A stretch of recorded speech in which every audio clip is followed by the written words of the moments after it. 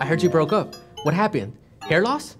Please tell me it's hair loss. I really want it to be hair Is loss. it income? It's gotta be income. Please tell me it's income. If it's not income, I don't know what to think. I don't know, people are saying you don't know how to cook broccoli.